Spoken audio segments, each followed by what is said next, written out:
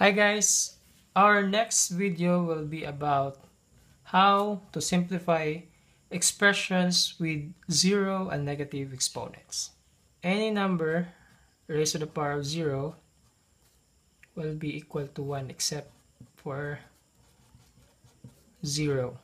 And if we're going to have negative exponent x to the power of negative n, this will be equal to 1 over x to the power of. Let's have some examples. Number 1. Two, quantity of 2x squared y cubed raised to the power of 0. Now in here, if we're going to simplify this one, any number raised to the power of 0 is equal to 1. So this will be 1.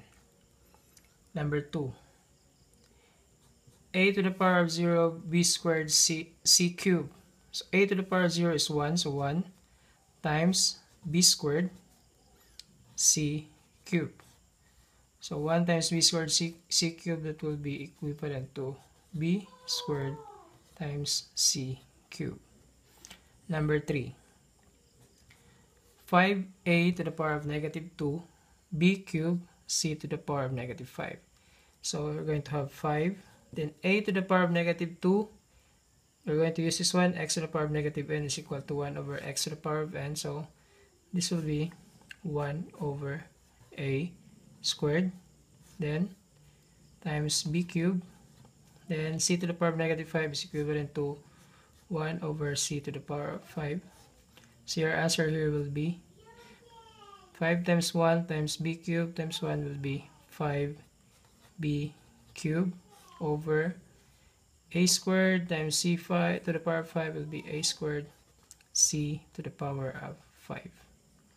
Or another way of solving this one, if we're going to have a negative exponent in the numerator, you're going to put that one to the denominator and make the exponent positive. Conversely, if we're going to have a negative exponent in the denominator, you can put that expression to the numerator and make the exponent positive. So in here, you can answer this one as this is a to the power of negative 2 and c to the power of negative 5. So these two will automatically be put in the denominator. So this will become, we're going to put that one, a squared c to the power of 5. Then, again in here, you're going to make the negative exponent positive. So this will become a squared. Then negative 5 will become positive 5. And the remaining number will be on the numerator. So 5b cubed. So you'll just have the same answer with our first procedure. Let's have number 4.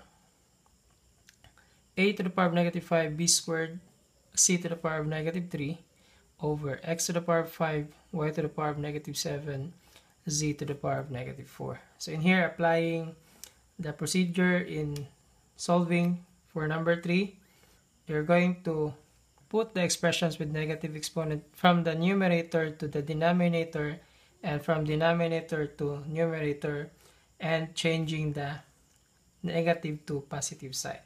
So in here, in the numerator, we have a to the power of negative 5 and c to the power of negative 3. So we're going to put this one to the denominator and make the negative sign as positive. And for the denominator, y to the power of negative 7 and z to the power of negative 4, you're going to put that one to the numerator and also changing the sign from negative to positive. So in here, what's left will be b squared.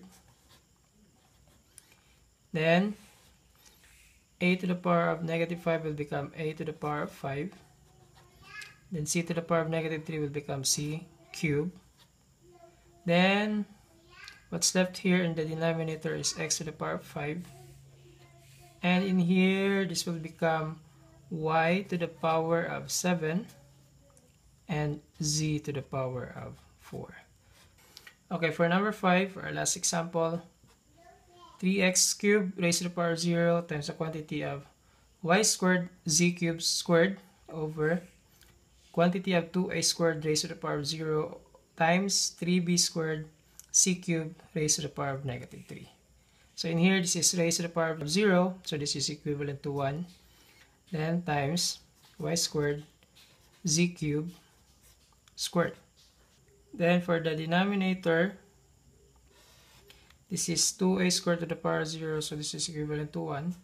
Then multiplied to 3b squared c cubed raised to the power of negative 3. Then 1 times this one will be the same. So we're going to have y squared z cubed squared. So in here, this is equivalent to 3b squared c cubed raised to the power of negative 3. Then, this is negative 3 here, so this will become, or you can put this denominator to the numerator. So your answer will be y squared z cubed squared then times 3b squared c cubed raised to the power of 3. This, is, this will now become 3.